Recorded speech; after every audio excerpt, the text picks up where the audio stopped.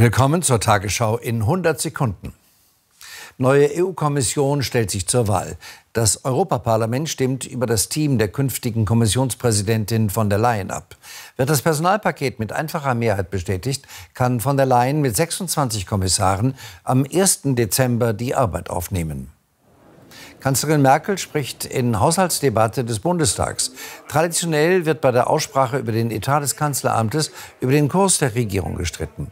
Als größte Oppositionsfraktion hat zunächst die AfD das Wort. Papst räumt Finanzskandal ein.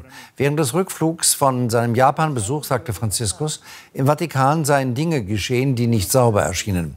Fünf Mitarbeiter der Kurie sollen Kirchenspenden unter anderem für Immobiliengeschäfte in London verwendet haben. Sie wurden vom Dienst suspendiert. Zahl der Toten bei Erdbeben in Albanien auf 23 gestiegen.